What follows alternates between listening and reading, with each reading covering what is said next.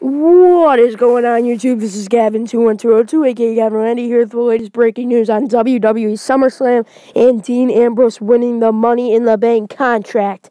Now, getting into the whole story, Dean Ambrose, if he wins the Money in the Bank contract, the thought as of right now that we will get a triple threat shield match for the richest prize in the WWE, the WWE World Heavyweight Championship at SummerSlam.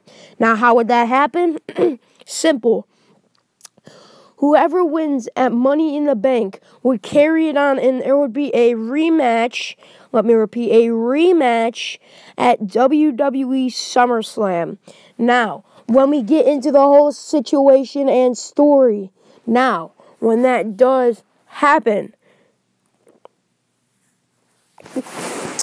that would allow when the match is about to ring, when the bell is about to ring, we hear, well, when Seth Rollins' music hits, then Roman Reigns' music hits, after they're announced, when the bell is about to ring, we hear the car, we hear the motorcycle,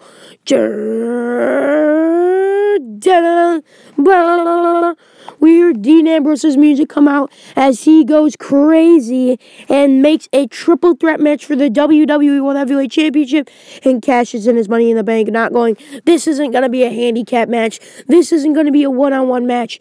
This isn't going to be a lumberjack.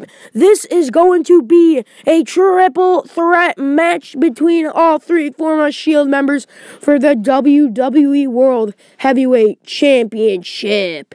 So, why I have a couple things to say to that. If you want me to bring you all of this news, rumors, headlines, and updates on this, I'm really psyched about this. I'm going to need you to do a couple things in return. I need you to like this video, favorite this video, share this on every social media platform that is humanly possible and you can think of. And definitely don't forget to click that subscribe button. Thanks, guys. I love y'all.